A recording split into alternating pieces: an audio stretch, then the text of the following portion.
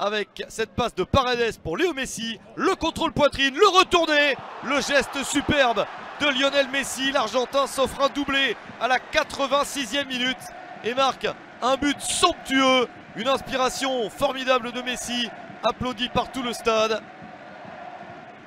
Les Parisiens semblent en forme et n'ont pas fait de détails sur la pelouse de Clermont. Le PSG est déjà leader du championnat avec ce succès 5 à 0 sur le terrain de Clermont.